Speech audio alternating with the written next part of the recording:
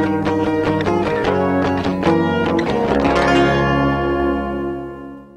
Hi, it's Mr. Andersen, and this is AP Physics Essentials, video 137. It's on stimulated emission. Imagine we had a red light like this. What kind of photons would it give off? It would give off red photons, and in what direction? They would move in all different directions.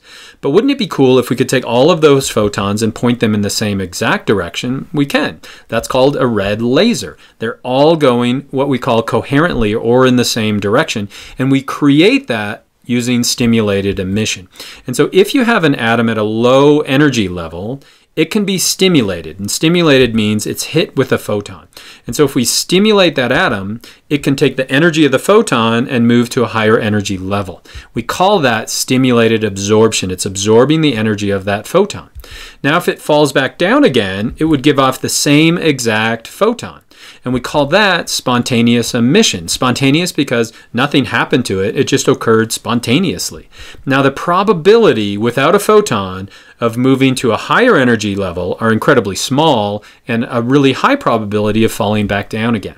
But what would happen if the atom has already been stimulated? It's at a higher energy level and it gets stimulated again. So instead of moving to an even higher energy level, watch what happens. One photon comes in and in stimulated emission, two photons come out.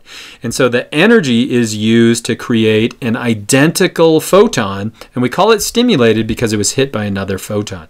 And so if we look at this using an energy diagram, in order for that atom to be excited, it has to get the proper amount of energy.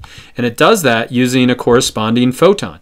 The wavelength, therefore the frequency of this has to match exactly to the energy between those two energy states. Now as another photon comes in, during that emission, we're going to create two identical photons. And now let me show you how that plays out if we have a number of different atoms. So let's say one atom is stimulated gets hit by a photon, how many is it going to kick off? Two.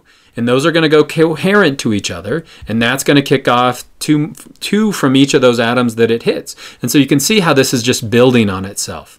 Now, if we can put these inside a container where we reflect those photons back and forth, we'd use mirrors on either side, then we can start to build up a laser or this stimulated emission. So to show how this occurs, we're going to use a PHET simulation. We're going to hit this one atom with different wavelengths of light. You can see the energy doesn't match up perfectly to jump to the next energy level, but I can change the wavelength of the light. And if I get it the right wavelength, you can see what's happening. Now it's starting to jump to the upper level and then it's falling back down again. You can also see these coherent photons. Those photons are starting to travel next to each other. If this is a laser, we could put mirrors on either side. They're going to bounce back and forth. And then the mirror on the right, we could just decrease the reflectivity a little bit, and those photons are going to move out, and they're going to move out coherently. And so did you learn how changes in the energy levels of atoms is tied to either the absorption or emission of photons? I hope so, and I hope that was helpful.